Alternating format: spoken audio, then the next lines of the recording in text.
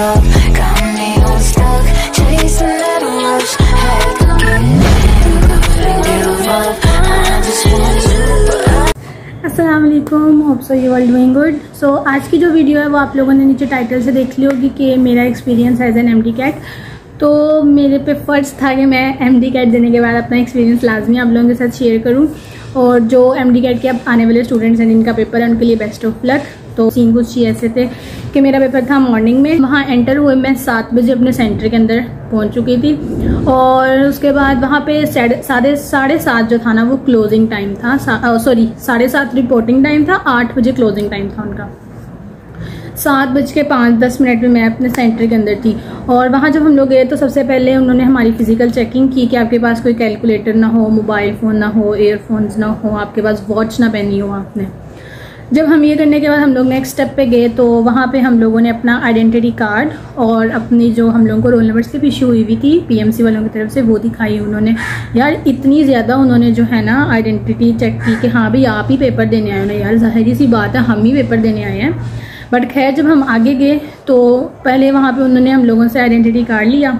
शनाख्ती card पर जो हमारी पिक थी, वो देखी, हमारे मार्क्स को उतरवाए, हमारी वो शक्ल देखी हाँ भी दोनों से मैं जॉब आप आगे, ठीक है। उसके बाद थर्ड जब हम लोग आगे गए तो वहाँ पे थी एक मतलब टीचर बैठी हुई थी, उन्होंने हम लोगों की पीएमसी की जो रोल नंबर स्लिप थी, वो देखी, उस पर जो प्रोफ़ाइल उस पर जो पिक लगी हुई थी, वो देखी, उसके बाद हमारा मास्क उतरवाया हाँ बेटा दिखाओ, अपनी शक्ल, आप ही बंदे ने आई हो। और फिर उसके बाद उन्होंने हमें एक वेरिफिकेशन कोड और हमें सीट नंबर इशू कर दिया उन्होंने। उसके बाद जब हम फर्दर आगे गए तो क्या हुआ? हाँ तो वहाँ पे ये था कि जब वो, मार्क्यू था, बारह रोज लगी हुई थी चेयर्स लगी हुई थी बारह इस तरह से। और एक एक टेबल पे वाटर बॉटल पड़ी हुई थी, साथ वाइट बोर्ड पड़ा हुआ था और मार्कर पड़ा हुआ था, साथ बस ये तीन चीज़ें थी। तो ऐसा लग रहा था और बिल्कुल सामने स्टेज पे जो है ना, वो इन्विजिलेटर्स बैठे हुए थे तीन, चार, तीन इधर तीन तीन सामने और तीन लेफ़्ट पे।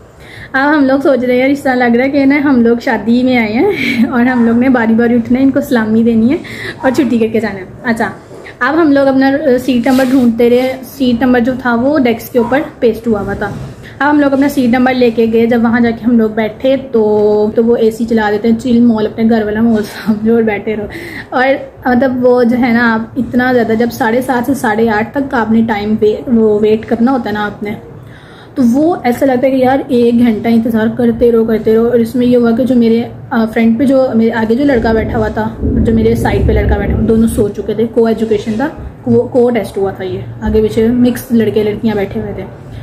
लेकिन इतना इतना गैप था कि कोई सीन नहीं था, कौन किसको नज़र आ रहा है, ऐसा कुछ नहीं था। पौने आठ बजे उन्होंने हम लोगों को टैबलेट्स दे दी और हम लोगों को बताया कि आप लोगों ने पावर ऑन करना है इसको।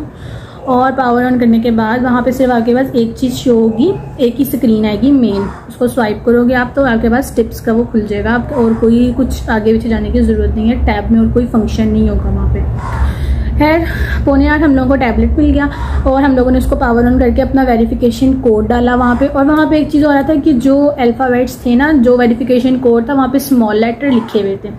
तो जब हम वेरिफिकेशन कोड टैबलेट पर डाल रहे थे ना, वहाँ कैपिटल लेटर ही आ रहे थे। तो कोई इतना इशू नहीं था, जो लेटर्स लिखे हुए थे, बस आपको वो लिखने थे। कैपिटल स्मॉल का कोई सीन नहीं था, बस ज़ीरो और ओ में फ़र्क नहीं चल रहा था। तो अगर जिसका ज़ीरो हो तो वो पहले एक दफ़ा ज़ीरो लगा ले, अगर ना लगे तो उसको ओ करके लगा लेना, क्योंकि मैंने खुद ऐसे किया था। पहले ज़ीरो लगाया, मैंने नहीं लगा। फिर मेरा ओ मतलब वेरिफिकेशन कोड में ओ था तो वो फिर मैंने लगा दिया। अच्छा उसके बाद हम लोगों को आठ बजे जो है, उन्होंने सूरत रहमान की तलावत सुनवाई, ठीक है? और सवा आठ बजे तक सवा आठ तक उन्होंने हम लोगों को तलावत सुनाई सुरहमान की ताकि स्ट्रेस फ्री हो जाए हम लोग, बच्चों को टेंशन ना हो। फिर उन्होंने जो आजकल थोड़े र्यूमर्स उड़ रहे हैं, इसके पीएमसी के वाले से के पेपर चेक नहीं हो रहे हैं इंटरनेट का इशू आ रहा है, उन सब के बारे में उन्होंने हम लोगों को डिटेल बताया कि बेटा ऐसा कोई सीन नहीं है। सवा आठ से लेकर साढ़े आठ तक ये स्पीच हुई थी कि बेटा ऐसा कोई सीन नहीं है, ऐसा कुछ नहीं हो रहा है र्यूमर्स कोई नहीं है, हमारे इंटरनेट में कोई इशू नहीं है चेकिंग में कोई इशू नहीं है, जो आप लोगों ने किया होगा, वही आप लोगों को रिज़ल्ट शो होगा, ये, वो फलाना। ये सवा से साढ़े आठ तक, पंद्रह मिनट में उन्होंने हम लोगों को ये बातें बताई। जैसे ही साढ़े आठ हुए, उन्होंने टैबलेट्स के जो हैं वो ऑन कर दिए थे कि आप लोग अपना टेस्ट अटैम्प्ट करना स्टार्ट कर दो। उसके बाद हम लोग टैबलेट पर अपना अपने करते गए एम सी मार्क करते गए। सबसे पहले फिज़िक्स के थे फिर उसके बाद बायोलॉजी के थे, फिर केमिस्ट्री फिर इंग्लिश और फिर लॉजिकल रीजनिंग के। अच्छा इसमें केमिस्ट्री में जो थे वो एम सी क्यूज़ आए हुए थे, थोड़े थोड़े बहुत रिलेटेड थे रिएक्शन से। ठीक है कि अगर आप मेथनॉल और इथेनॉल को मिक्स करो तो क्या रिएक्शन होता है? ऑक्सीडेशन किसमें होती है? रिडक्शन किस प्रोसेस में होती है किस रिएक्शन में होती है? इस तरह की चीज़ें थी उसमें। और फिज़िक्स में यूनिट्स बहुत ज़्यादा थे। यूनिट्स बहुत भरपूर भरे हुए थे क्या इसका यूनिट क्या है, इसका यूनिट क्या है, इस तरह के। और बायोलॉजी में मेरा ninety nine percent ninety percent मेरा जो पेपर था ना, वो रिप्रोडक्शन वाले चैप्टर में से आया था, जो सेकेंड ईयर में है। उसमें से भी मेल और फीमेल फीमेल में से कम आया हुआ था मेल में से ज़्यादा आया हुआ था मेल रिप्रोडक्टिव सिस्टम में से। और उसके बाद जो है इंग्लिश में इंग्लिश में एस का ज़्यादा यूज़ आया हुआ था वोकेबलरी बहुत थोड़ी आई हुई थी एक एम था सिर्फ़ वोकेबलरी का। वो भी इस तरह से था कि आपको मीनिंग नहीं ढूंढना था उसका उन्होंने एक सेंटेंस लिखा हुआ था उसमें एक एडजस्ट करना था आपको एक वर्ड बस इतना इतना वोकेबलरी थी। बाकी स्पेलिंग आए हुए थे स्पेलिंग बहुत आसान थे दो तो मुझे याद है एक अप्लाई के स्पेलिंग थे कि अप्लाई के स्पेलिंग क्या होते हैं एक थे आ, उसके स्पेलिंग इशू के स्पेलिंग थे कि इशू के स्पेलिंग क्या होते हैं एक थे वंस के स्पेलिंग वंस स्पेलिंग क्या होते हैं। बस ये तीन स्पेलिंग हुए थे उसके बाद लॉजिकल रीजनिंग की बारी आ गई। वो थे कॉजेज और इफ़ेक्ट वाले। जिस तरह जिस तरह स्टेटमेंट्स हमारे पास उसमें स्टेप वाली बुक में जिस तरह भी हम लोगों को मिली हुई है उसमें रीजनिंग उस तरह की हुई थी। अच्छा अब आ, कोई राउंड अबाउट वन आवर और सिक्स मिनट पे मैंने अपना पेपर अटैम्प्ट टेस्ट मेरा पूरा अटैम्प्ट हो गया था। वहाँ पे वो आपको बार बार एक चीज़ कहेंगे कि बेटा रिव्यू करना है रिव्यू करना है। तो देखो, अगर आप 210 एमसीक्यूज कर रहे हो और आपको खुद पे यकीन है कि हाँ भी मैंने 210 कर ली हैं और एक घंटे पहले कर लिए हैं मतलब तीन घंटे का टाइम था ना तो मैंने, मेरा रिमेनिंग टाइम बचता था वन आवर सिक्स मिनट तो मतलब देखो, आपको 210 के 210 दोबारा रिव्यू करना पड़ेगा, आप दोबारा स्टेटमेंट पढ़ोगे, फिर एमसीक्यू देखोगे। और एक बात और, आप ना मतलब वहाँ वहाँ पे ये है कि आपने अगर सी ऑप्शन सेलेक्ट कर दिया तो आप दोबारा डी कर सकते हो, ठीक है? लेकिन जो वहाँ पे कंप्यूटर या जो भी वो दिया हुआ ना, वहाँ पे ये चीज़ थी कि जो ऑप्शन आपने ऑप्शन सिलेक्ट कर लिया ना, बस वो आपका आंसर जा चुका है। आप आगे डी लगाओ बी लगाओ ए लगाओ वट कोई भी लगाओ ना, वो फिर सिलेक्ट नहीं होगा। जो एक दफ़ा में लग गया, वो लग गया, ठीक है? बेशक बाद में वो क्लिक होता रहता है। डी ए बी सी होता रहता है। लेकिन जो फ़र्स्ट टाइम में एमसीक्यूज चला गया आपका, वही आपका आंसर होगा, ठीक है? और उसी के आपको मार्क्स मिलेंगे। उसके बाद सेकेंड जो चीज़ होती है, वो होता है स्किप करना। वहाँ पे सर हम लोगों को यही कहते हैं मतलब जो वहाँ पे इन्विजिलेटर्स होते हैं, वो आपको यही कहते हैं कि बेटा आप स्किप कर लो, कोई इशू नहीं है, आपको नंबर मिल जाएँगे, ये, वो, ठीक है? लेकिन मेरे ख्याल से कि यार रिस्क है, ठीक है? आप अगर ले लो रिस्क लेने की क्या ज़रूरत है? आप इजीली करो, ठीक है? अगर आपको आता है, तीन घंटे का टाइम है यार, आप एम सी क्यूज़ पे पाँच मिनट लगा के सोच लो, ठीक है? लेकिन उसको अटेम्प्ट करो, क्योंकि हमें नहीं पता कि वो एम सी क्यूज़ हमें दोबारा नंबर मिलेगा कि नहीं मिलेगा। कंप्यूटर पे चेकिंग है, हमें क्या पता कि वो ऑप्शन हम लोगों की सिलेक्ट होगी, हम लोगों को उसका मार्क्स मिलेगा कि नहीं मिलेगा। ये तो उन लोगों पर डिपेंड करता है कि उन्होंने किस तरह से सेटिंग की हुई है, किस तरह से सारा सीन है। तो मेरे नहीं ख्याल से कि आपको स्किप करना चाहिए। मैंने अपने पेपर में कोई भी क्वेश्चन स्किप नहीं किया। मैंने क्वेश्चन पे पाँच मिनट लगाए छः मिनट लगाए, सात मिनट लगाए।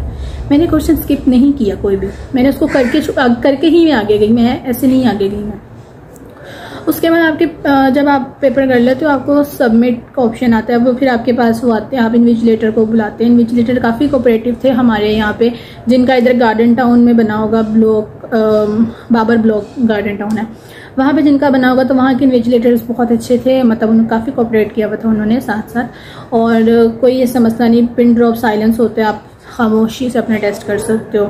ठीक है, उसके बाद उसके बाद और क्या था? बस लास्ट पे फिर आप लोगों ने पेपर जब सबमिट करना है तो आपने सबमिट खुद नहीं करना, आपको इन्विजिलेटर को बुलाना है। सर, मेरा टेस्ट हो गया तो मैं सबमिट करने लगा हूँ। उनको ये बताना है आपने कि मैं सर, वो कभी भी वो खुद नहीं आपका पेपर सबमिट करेंगे। वो नहीं आपको कहेंगे कि बेटा क्लिक करो। आप अपनी मर्ज़ी से क्लिक करोगे और सबमिट कर दोगे पेपर ठीक है, उसके बाद पेपर सबमिट करने के बाद आपको प्लीज़ वेट का एक वो ऑप्शन आएगा, ठीक है मतलब प्लीज़ वेट लिखा हुआ आएगा।